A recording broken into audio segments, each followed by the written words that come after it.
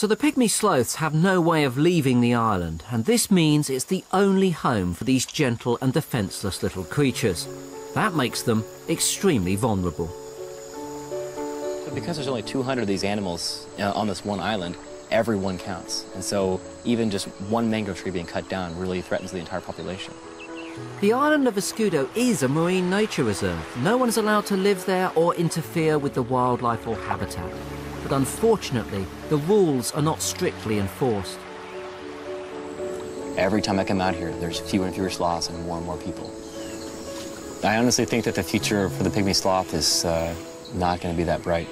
Uh, there's still illegal logging going on the mangroves. People are poaching them, and their numbers are just so small that any small thing could wipe out the whole species. So I had to guess, I would say that I would bet in 10 years they will not be a species anymore.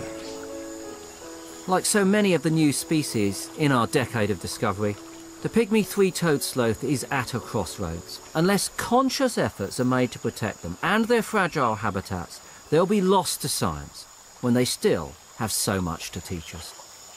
Well, I think the importance of the pygmy sloth is that it just shows how fast evolution can happen. I mean, this species is only cut off for about 9,000 years. So it just shows how fast evolution and, and adaptation can occur. And so it's a really, you know, amazing discovery.